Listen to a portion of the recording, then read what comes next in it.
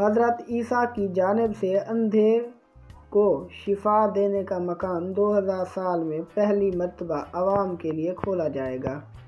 Israeli हुकाम ने ऐलान किया है कि जिस जगह हज़रत ईसा ने मादरजाद अंधे को बीनाई का तोहफ़ा दिया था, उसे 2000 साल में पहली मरतबा आवाम और सयाहों के लिए खोला जा रहा है। मकबूजा बैतुलमक़दस के आसार कदीमा में मदीना अलदाऊद के नाम से मशहूर मकाम के जनूब में बुरका सलवान नाम की जगह है, जिसे मसीही और यहूदी इंतहाई अहमियत का हामिल समझते हैं।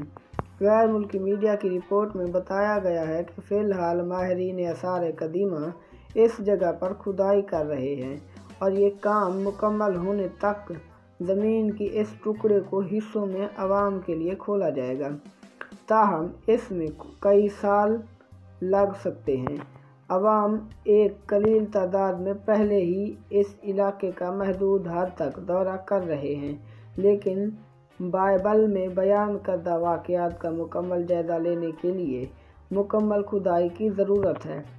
बुरका सलमान का ये इलाका आवाम के सामने पेश करने का ऐलान इसराइल के एंटेक्टिएटेड अथॉरिटी की जानब से नए साल के मौके पर किया गया था। आठवीं सदी कबल मसीह में ये इलाका मकबूजा बैतुलमक़दस में आबी निज़ाम कायम करने के दौरान तमीर किया गया था। ये इलाका एन सलवान स्प्रिंग से पानी हासिल के ज़रिए ज़ख़ीरा करता था और इसके बाद पानी जेर ज़मीन सुरंगों में छोड़ा जाता था। शहर के मेयर मोशे ल्यून का कहना है कि ये इलाका तारीख़ी मुल्की और बैन अवी अहमियत का हामिल है। इलाका सयाहों और आवाम के लिए खोलने से हर साल लोग यहाँ आएँगे।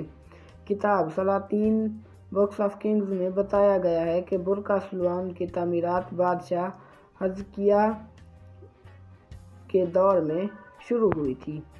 यूहाना की एंजल के बाब नौ के मुताबिक ये वो मकाम है जहाँ हज़रत ईसा ने मादरजाद अंधे को शिफा दी थी। और यही वो मकाम है जहाँ यहूदी आजमीन दूसरे मबुद सेक में दाखिल होने के लिए ख़ुद को पाक कर किया करते थे।